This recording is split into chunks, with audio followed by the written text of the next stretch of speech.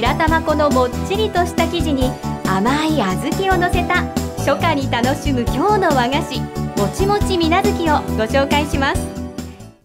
材料はご覧の通りです。では作り方です。まずボウルに白玉粉を入れ水 A を少しずつ加えながらゴムベラで粒を潰すように混ぜます。ふるった薄力粉砂糖を加え水 B を少しずつ加えながらしっかりと混ぜましょう。クッキングシートを敷いた耐熱容器にこし器でこした生地を流し入れます。ラップをして500ワットの電子レンジで5分ほど加熱します。